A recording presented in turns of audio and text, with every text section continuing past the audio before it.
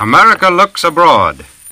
This is the 57th in a series of broadcasts presented by the staff members of the Foreign Policy Association, a nonpartisan organization which offers accurate information on world affairs.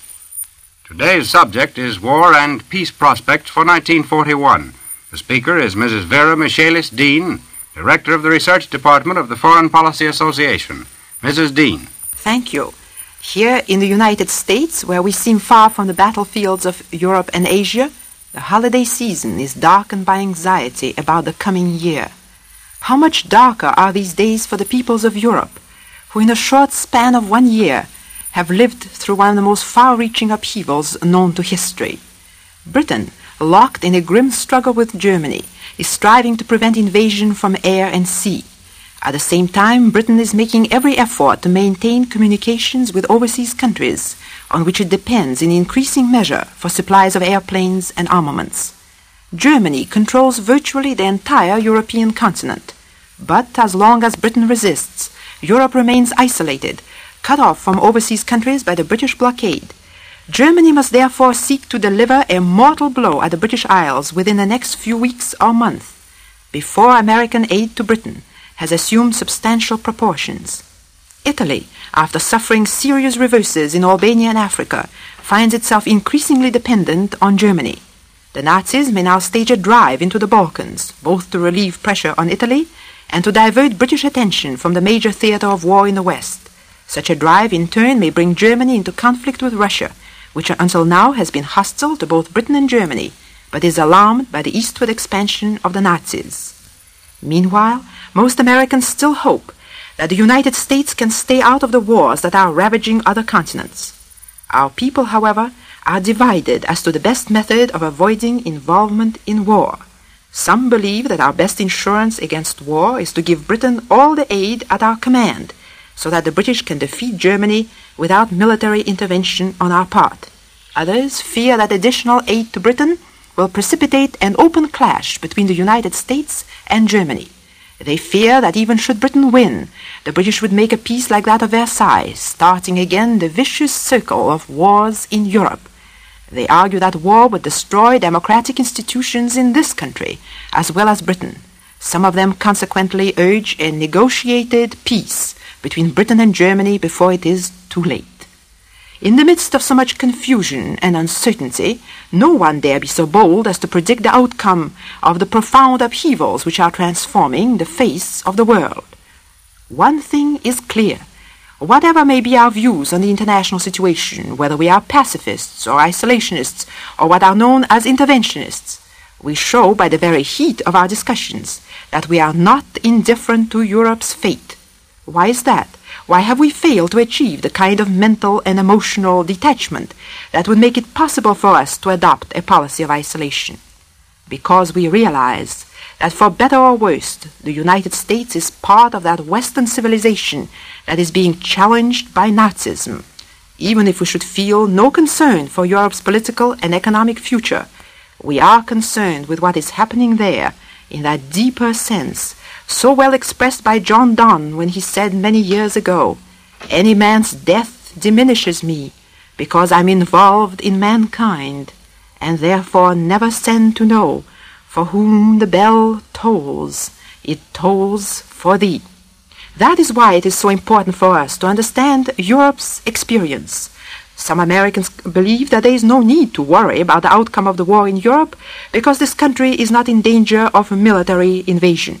It is true that the United States is in no danger of immediate military invasion by Germany, even if Britain should be defeated tomorrow.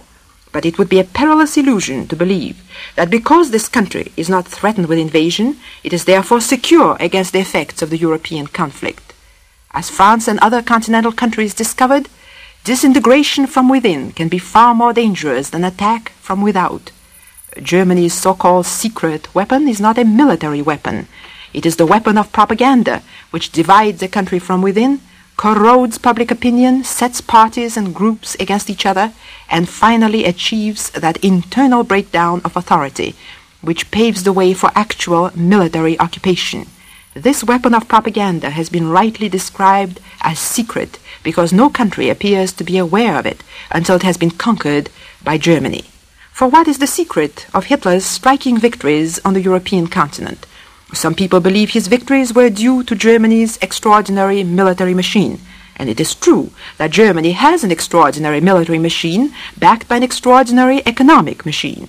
Others believe that Hitler's victories were due to the activities of fifth columns, and it is true that fifth columns aided the Nazis from within in every invaded country. But why has Britain succeeded so far, where France and others failed? Of course, the English Channel remains a strong defense against German invasion, even though its value has been diminished by the development of air and submarine warfare. But the secret of British resistance is neither superior armaments nor superior methods of dealing with fifth columns. The secret of British resistance is civilian courage. It is a courage springing from the belief of ordinary men and women, untrained for war and hating war, that their community, their institutions, their way of life are worth defending, and the voluntary determination of these men and women to make whatever sacrifice may prove necessary in terms of lives and material comforts and possessions. I stress the words civilian courage and voluntary determination to sacrifice because I believe that they provide a clue to the kind of a new order which the democratic peoples can offer as a valid alternative to the new order proposed by the Nazis. For without civilian courage, democratic society tends to disintegrate into anarchy. Out of the bitter experience of the past year, we are learning that democratic rights and freedoms are not automatically perpetuated. They must constantly be defended against encroachments by various groups and special interests. We are learning that democracy need not be synonymous with political agnosticism. On the contrary, democracy can thrive only if it is a living faith, which, while tolerating other political faith, is ready to defend itself by force if necessary.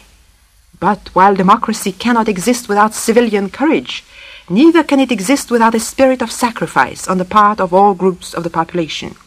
As long as the peoples of Western countries fear to sacrifice lives and material possessions to defend themselves, the Nazis were bound to succeed, for the Nazis shrank from no sacrifices. Nazi propaganda could also argue that the democracies, while professing high ideals of international morality, were actually not ready either to fight in defense of their ideals or to fulfill them by surrendering some of their economic privileges. Again, out of the bitter experience of the past year, we are beginning to realize that peace, like freedom, cannot be automatically perpetuated. Today, the British are making sacrifices for war that they would never have dreamt of making for peace. Today, they are thinking in terms of international planning and international controls for their wartime needs, where yesterday they, like ourselves, thought largely in terms of their own interests. It can only be hoped that some of the lessons people all over the world are now learning in time of war may be remembered when the time comes to build for peace. You might ask, well, under these circumstances, is there any basis for a negotiated peace? Is it not possible to shorten the war, to spare lives and economic resources, to prevent extension of the conflict, before Britain and Germany have destroyed each other? This is obviously a tempting thought.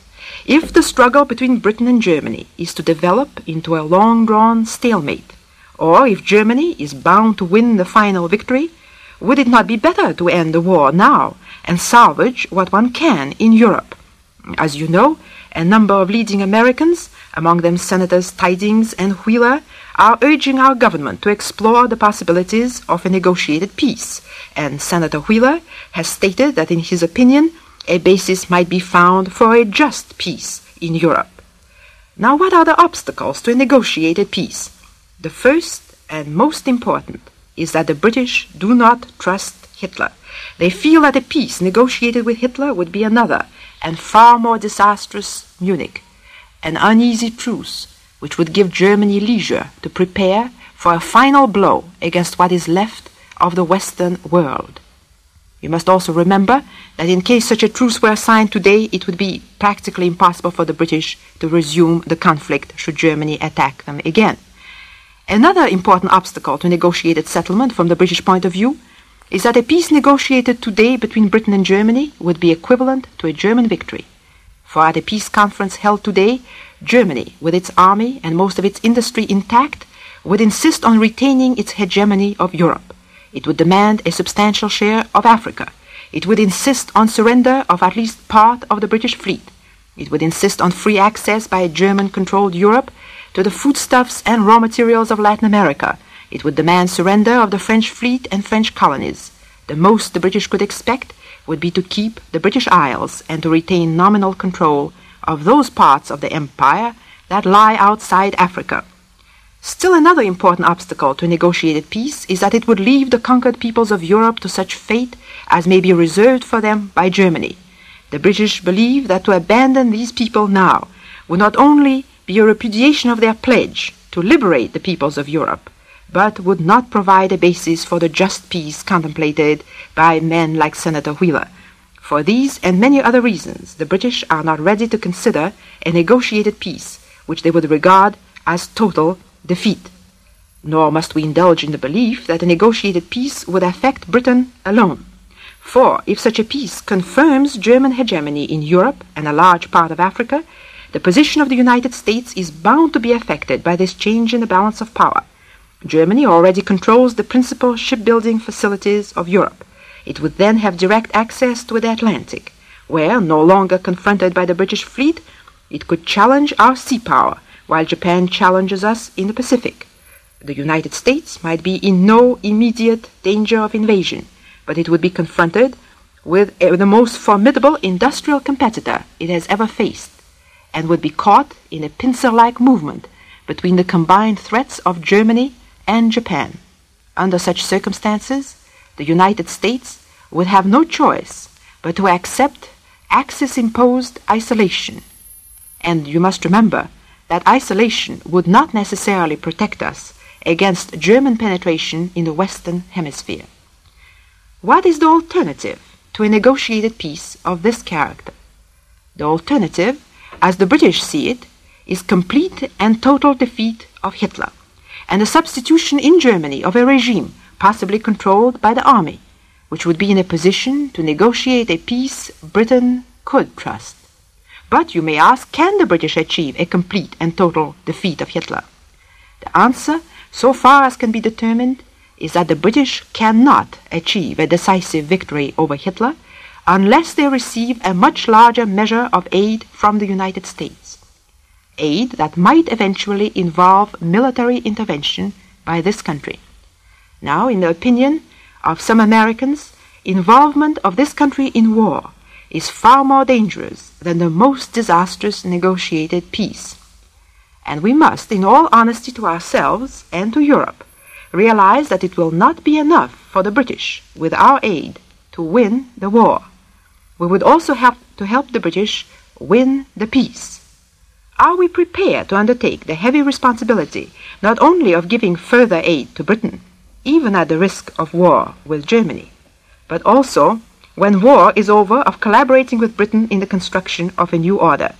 In considering this question, we must realize that the United States is a great power, and power cannot be divorced from responsibility. Even if all we do is urge Britain to accept a negotiated peace, would be, would be undertaking a grave responsibility, and to that extent would be intervening again in the European conflict. No course that lies before us is free from risk.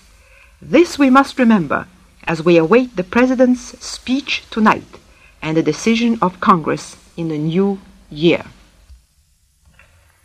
Mrs. Vera Micheles Dean, Director of the Research Department of the Foreign Policy Association, was today's speaker in the America Looks Abroad series. If you would like a free copy of this talk, address your request to the Foreign Policy Association, 22 East 38th Street, New York, or in care of the station to which you are listening. The Foreign Policy Association is a nonpartisan organization open to all who are interested in American foreign policy. It offers accurate information on current world happenings. In the world of today, foreign affairs are your affairs. We invite you to tune in next Sunday to hear another speaker in the America Looks Abroad series. This is the National Broadcasting Company.